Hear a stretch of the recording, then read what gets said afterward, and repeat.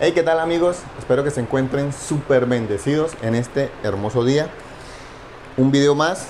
Hoy quiero enseñarles cómo se configura este control, el ADUL201 más X.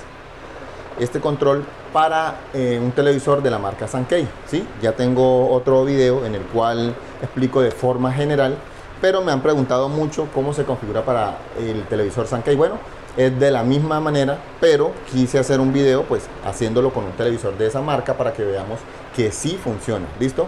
Entonces te pido por favor que veas el video hasta el final y así puedas eh, ver cuáles son los casos en los que te puedes encontrar esas situaciones que muchas veces me preguntan en los comentarios, pero resulta que en el video ya está explicado eh, cómo se debe eh, hacer en esos casos. Entonces, por favor, mira todo el video y así, pues, podemos mirar realmente cuáles son las dudas que salen.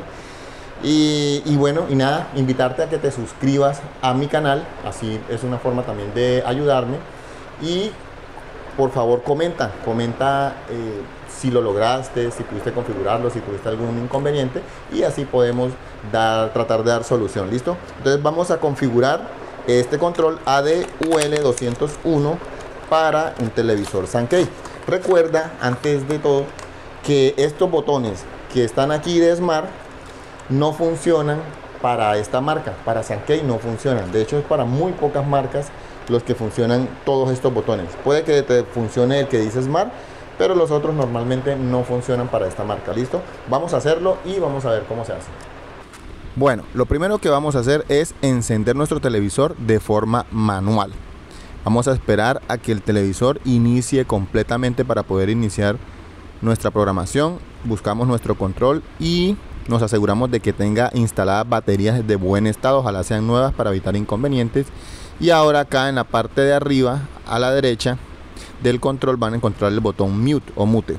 Lo vamos a presionar apuntando hacia el televisor y lo mantenemos presionado hasta que en el televisor aparezca el indicador de volumen.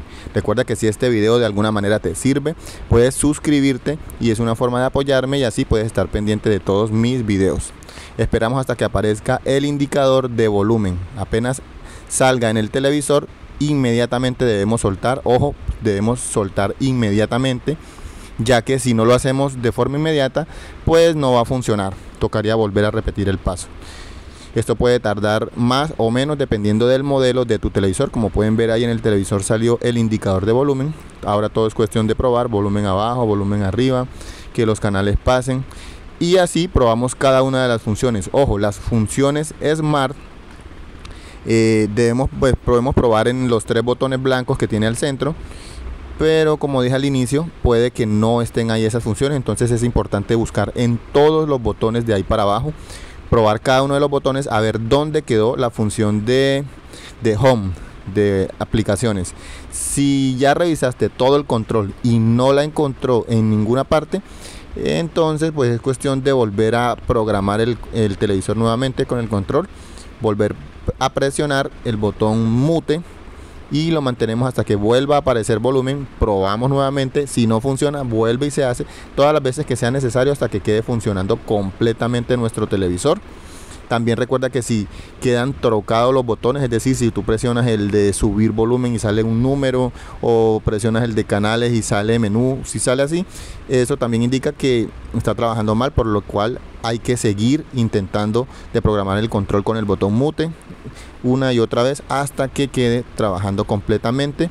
Pero como podemos ver si funciona tiene todas las opciones. En este caso no es un smart tv pero de igual forma funciona para el smart tv puedo decirte que funciona perfectamente entonces aquí está claro espero que te sirva este video cualquier cosa comenten que ahí estamos pendientes de los comentarios para ver cómo podemos solucionar quiero saber si les sirvió, si no les sirvió o cuál es tu caso. Entonces por favor dale un me gusta y por favor comenta.